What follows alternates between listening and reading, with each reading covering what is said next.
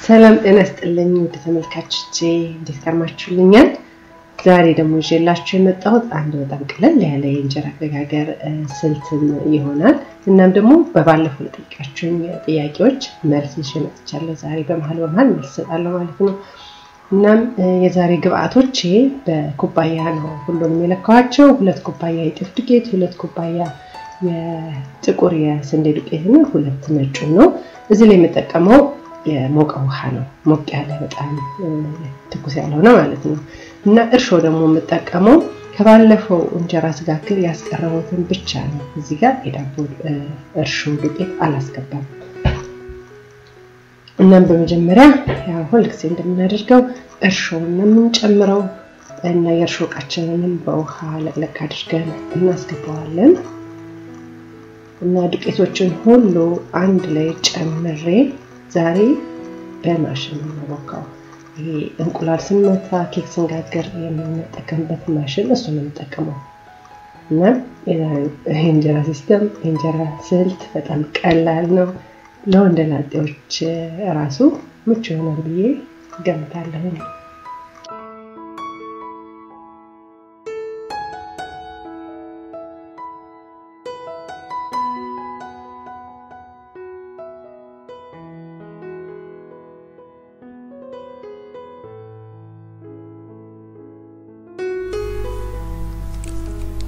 ውሃ ጭምር እያደረግኩኝ እንግዲህ በማሽን ነው ለስድስት ደቂቃ ያህል በደንብ የመታወት።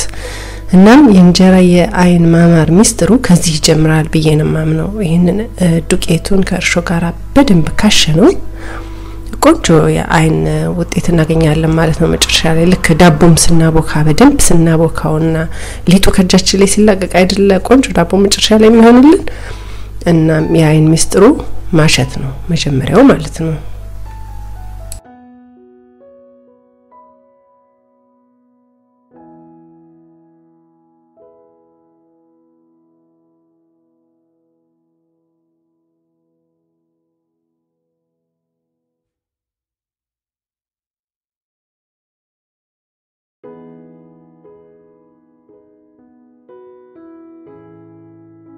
ለእነዚህ ዱቄቶች የተጠቀምኩት ወደ አንድ ሊትር የሚሆን ውሃ ነው፣ ሞቅ ያለ ውሃ። እናም እንደዚህ ካቦካሁት በኋላ ከድኜ ለ12 ሰዓት ያህል አቆየዋለሁኝ እንዲቦካ ማለት ነው። እና ከ12 ሰዓት በኋላ ይሄንን ይመስላል።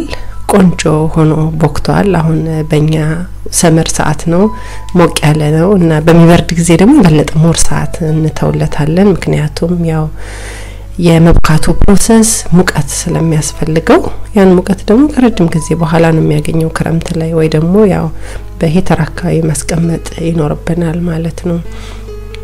አሁን ከዚህ በኋላ የማደርገው እንደገና አቅጥኛው በ kitchen ማሽኑ እንደገና ወደ ሶስት ደቂቃ ያህል እመተዋለሁ በደንብ አድርጌ ከመታወት በኋላም እንደገና ዘግቼ ለስድስት ሰዓት ያህል አቆየዋለሁ እንደገና እንዲቦካ ማለት ነው። እዚህ ጋር እንግዲህ ተስፋ አድርጋለሁ ከባህል ወጣሽ በማሽን ብቻ አደረግሽው እንደማትሉኝ። ምክንያቱም እኛ በውጭ ዓለም በምንኖርበት ጊዜ ያለንን ችግር ለመፍታት ነው እዚህ ጋር system የምንፈጥረውና በማሽን አድርገን ነው ከባህላችን ወጥተን ብንሰራው ቆንጆ ውጤት ካገኘን ለምን አናደርገውም? እናም ደግሞ በተለይ ወንዶቻችን በውጭ ለምትኖሩ ሊጥን ማብካት በእጃችሁ ለማትወዱ ቆንጆ system ይመስለኛል። እናም hope እንደምትወዱት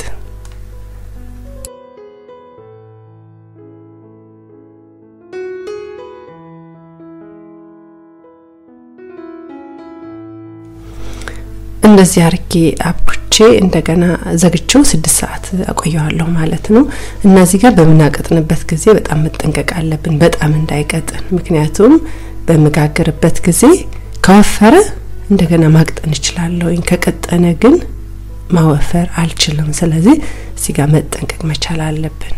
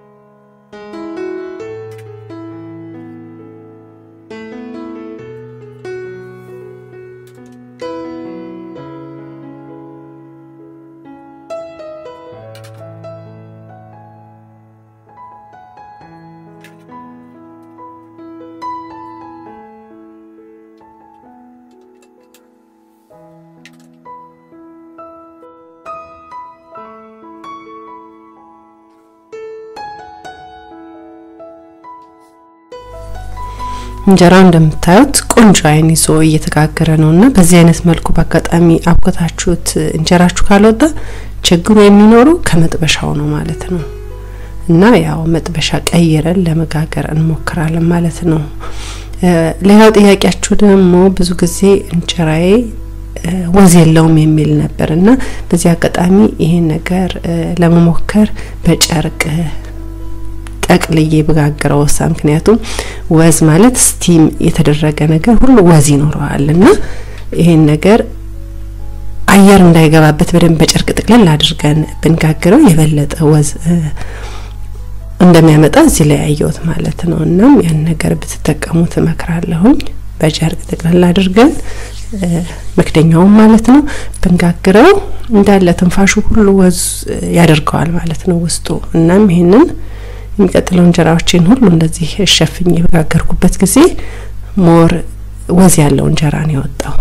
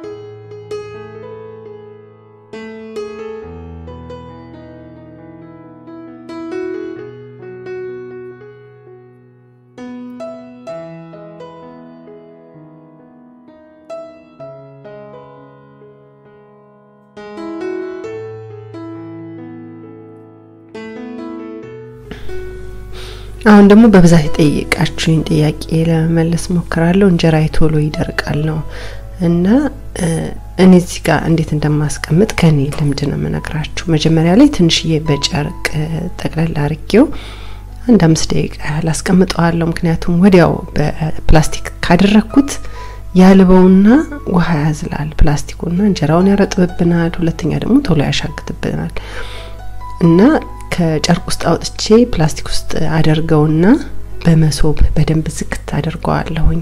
በመሶብ የምዘጋበት መንገድ አንደኛ ትንሽ ዳርክ ጠቆር ያደርግልናል እንጀራውን። እንጀራው እንዴት ነው በብርሃን እንዳይሆን ማለት ነው፣ የመድረቁ ነገር እንዳይፋጠን። ሁለተኛ ደግሞ ምንም አይነት አየር እንዳይገባ ያደርጋል። እዚህ ጋር ደግሞ መሶብ ለሌለን ሰዎች እዚህ ሀገር በብዛት የዳቦ ማስቀመጫ አለ ዝግት የሚያደርጉበት እሱን መጠቀም እንችላለን። ሌላ ደግሞ ስቶቫችን ውስጥ ማድረግ እንችላለን። ይህም በፕላስቲክ በደንብ ከጠቀለል ነው በኋላ ትንሽ ላዩ ላይ ደግሞ በጨርቅ እንደገና ደግመን ስቶቭ ውስጥ እንደገና ማድረግ እንችላለን። ያው ስቶቫችን በማንጠቀምበት ጊዜ ማለት ነው። እና የዛሬው ፕሮግራሜ በዚህ ያጠናቃለሁ። እጅግ በጣም እያመሰገንኩኝ ሰላማችሁ ብዝት ይበልልኝ እያልኩኝ ምሰናበታችሁ ሰላማዊት ነኝ። ቸር ይግጠመን።